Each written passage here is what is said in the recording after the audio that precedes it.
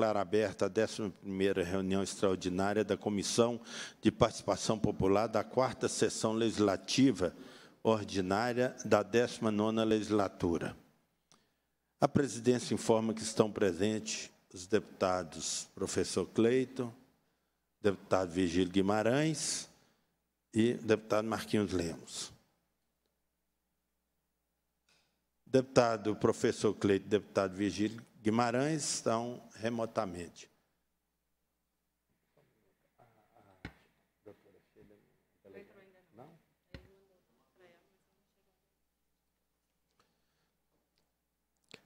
A presidência, nos termos do parágrafo 1 do artigo 132 do Regimento Interno, dispensa a leitura da ata da reunião anterior, considera-a aprovada e solicita a sua subscrição.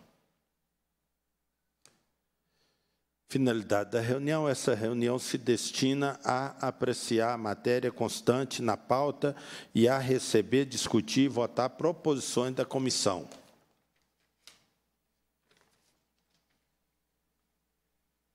A ordem do dia passa-se a segunda fase da ordem do dia que compreende a discussão e a votação de proposições que dispensam a apreciação do plenário. Proposta, propostas de ação legislativa números 179-2022 a 234-2022, em turno único, de iniciativa popular a presidência avoca para si a relatoria da matéria e passa a emitir o parecer.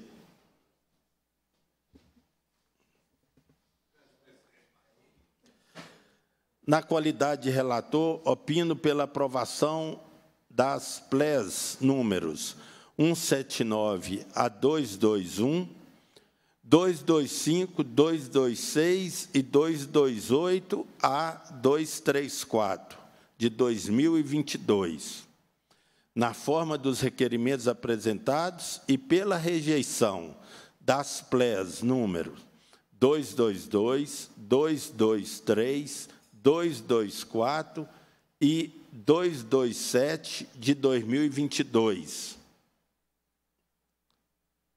Em discussão, os pareceres.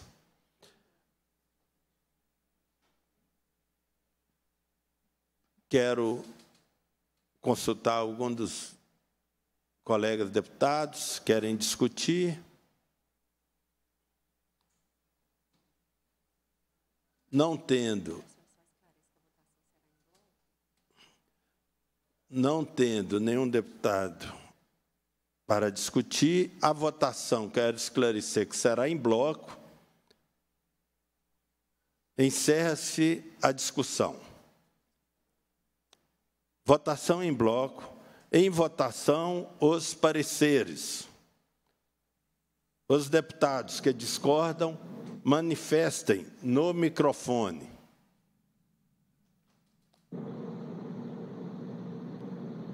Aprovado os pareceres.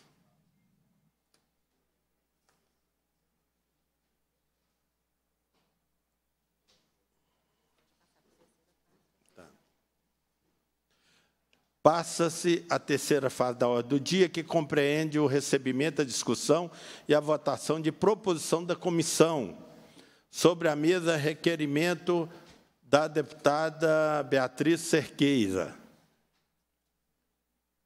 Excelentíssimo senhor presidente da Comissão de Participação Popular, a deputada que subscreve requer a Vossa Excelência, nos termos do artigo 100 parágrafo 5 do regimento interno, seja realizada audiência pública para debater e formular as contribuições das entidades da sociedade civil organizada à equipe de transição do governo federal eleito para tomar posse a partir de 1 de janeiro de 2023.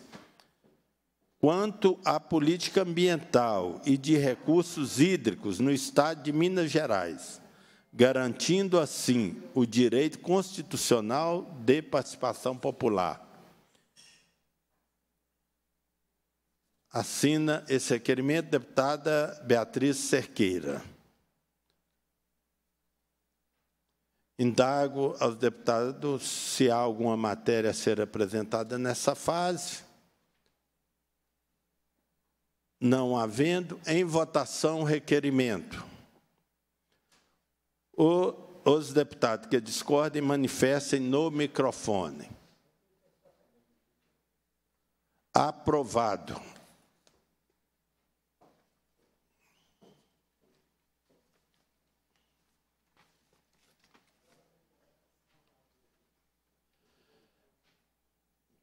Tem outro requerimento? Não, só isso. Mas, mas não, porque.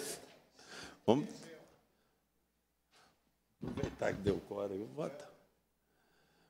Cumprida a finalidade da reunião, a presidência agradece a presença dos parlamentares, determina a lavratura da ata e encerra os trabalhos.